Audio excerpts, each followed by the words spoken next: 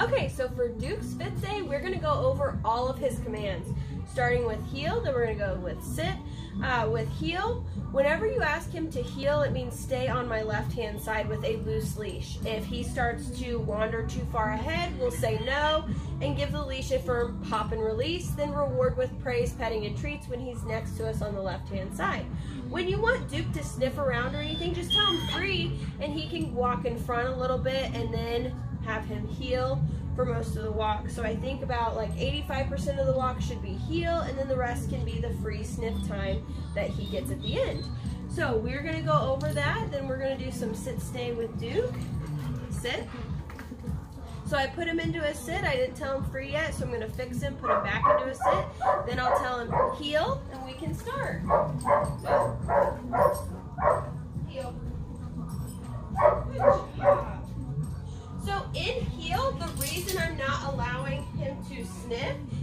I want him paying attention to me, not the ground.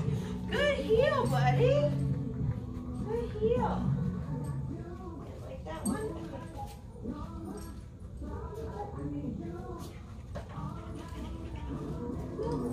Nope. Good heel. Good job.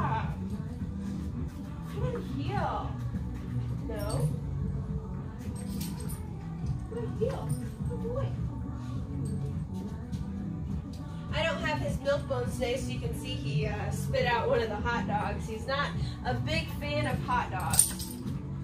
Good heel. Good boy. But we can use praise and petting as a reward also. But treats are ideal for working with him. That way he gets paid with a physical treat, almost like, you know, getting paid with money. Sit. Good job. So now we're gonna do a little sit stay. Let him scratch. You okay? Sit. So when you want him to stay, you can just say sit again so he doesn't have to uh, like memorize another word. Just tell him sit and then with your body language, you're telling him to stay. Good sit. So the difference between sit and free is a lot of my body language. So whenever you want him to stay, whether it's a sit or a place stay, sit, make sure you tell him with your body language, sit, almost like you're telling him stay. Good sit. Good boy. Sit.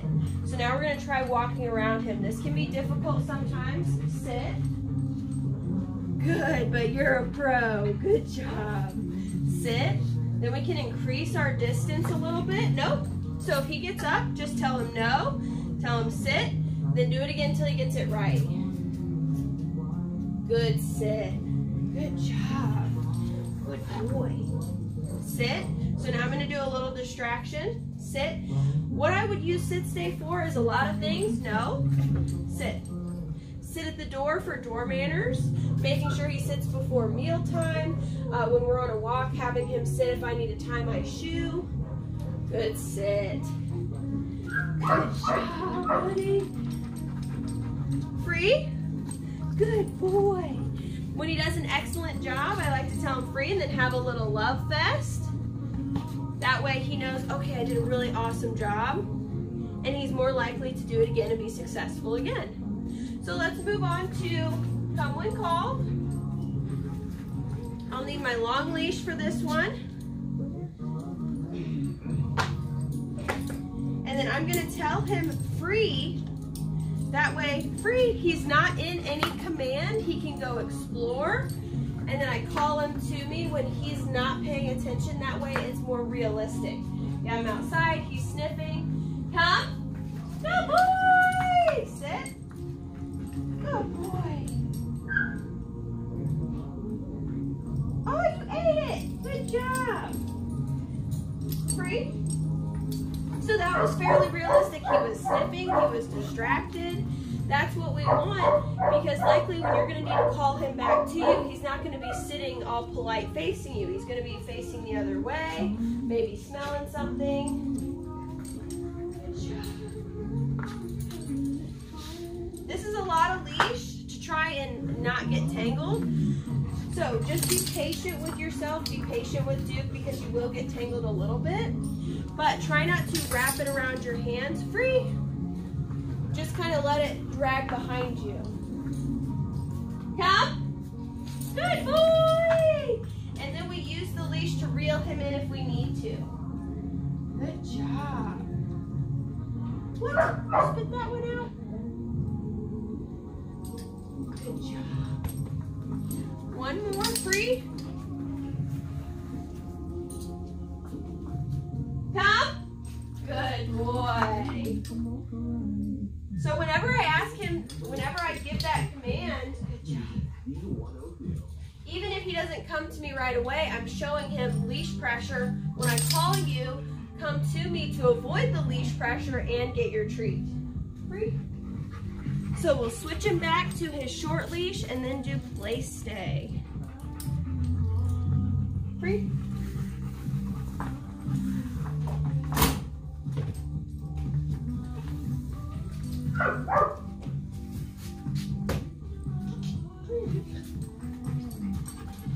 So we put him on place, place, all the way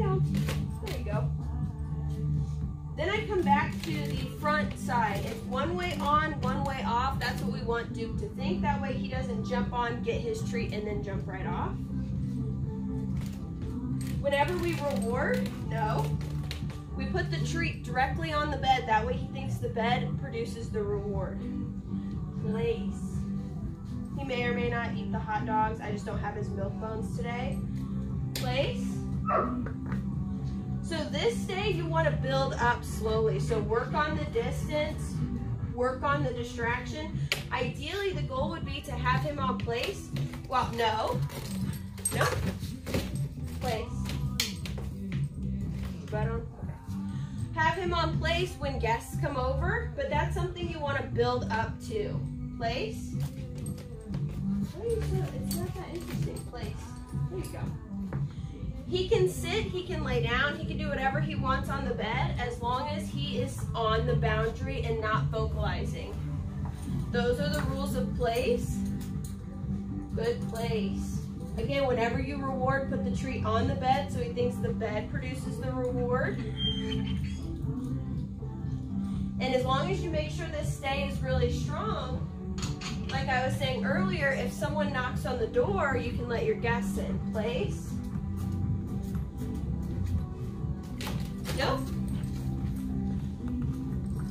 And it's just something to work on. Place.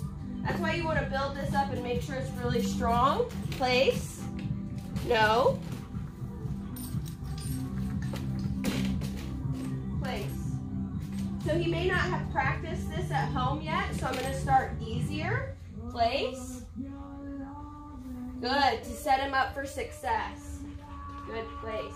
If we do something that's too challenging and he keeps making a mistake, he's going to get discouraged. So make sure it's something that's really accomplishable. So I'll go over here and knock instead. Good place. So we kind of prepare him good place for going for the door. Place.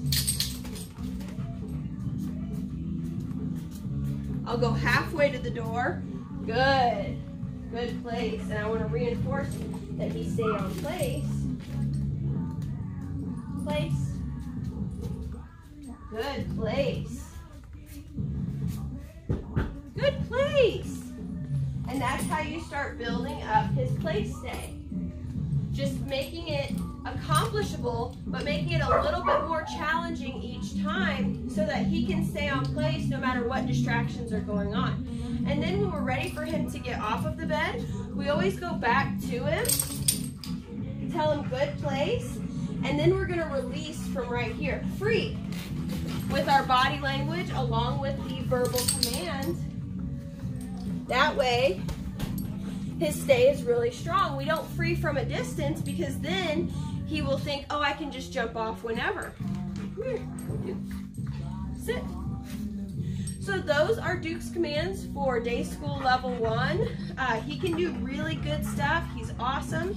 So just keep up the good work, have fun, and stay consistent.